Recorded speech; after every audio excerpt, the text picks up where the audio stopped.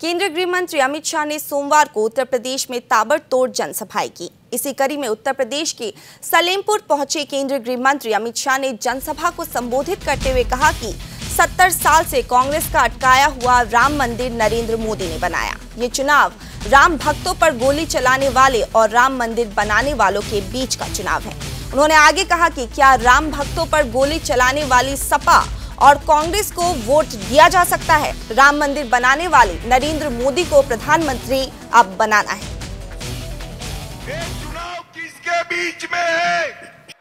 ये चुनाव राम भक्तों पर गोली चलाने वाले और राम मंदिर बनाने वालों के बीच का चुनाव।